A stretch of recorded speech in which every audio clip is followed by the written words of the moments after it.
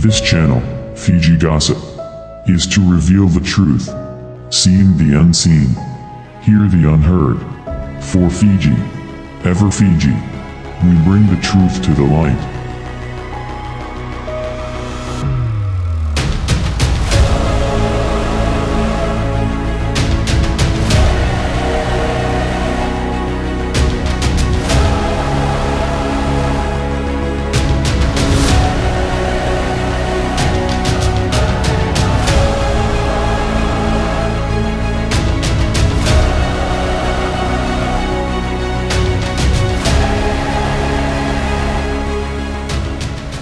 Bula Vinaka. Welcome to Fiji Gossip. Today we gossip about USP. Why so much turmoil at the University of the South Pacific, asks Tomazi. Stay with us, for insights.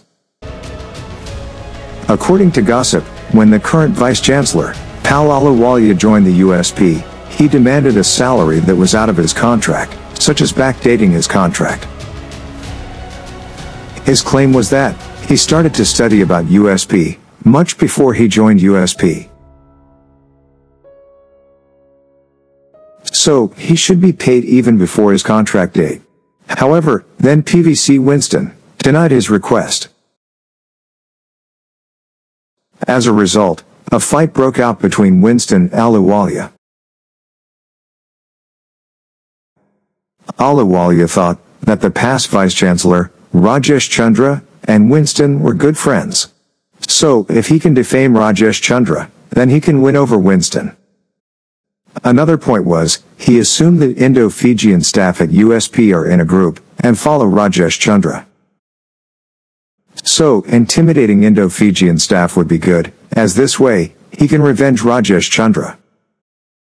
He smartly acquired support from the student union group for him. Since it is a big group, it can be a good mouthpiece.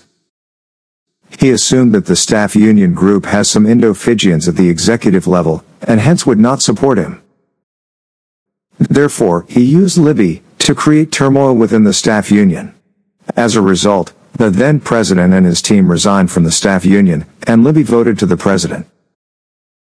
As a reward, he also gave Libby 26% of inducement allowance, even though she was a librarian, and not qualified for such inducement allowance over salary. He even denied many qualified staff for inducement allowance whom he thought that they can't be useful for him personally. So, this way he gained another mouthpiece at the staff union level. He then kicked all people one by one whom he thought belonged to Rajesh Chandra, even though they did not belong to any group, and were doing their work diligently. Then he promoted and placed his own underqualified people at positions, who were lacking quality and minimum qualification level, i.e., lower than the required qualification people were promoted.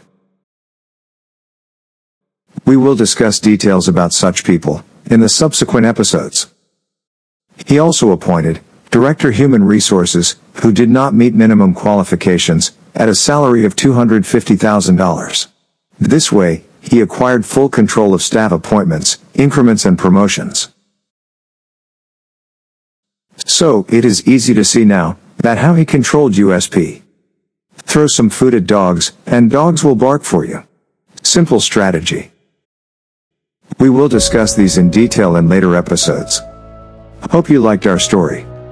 Please do not forget to subscribe to our channel. Vinaka Vaka Levu.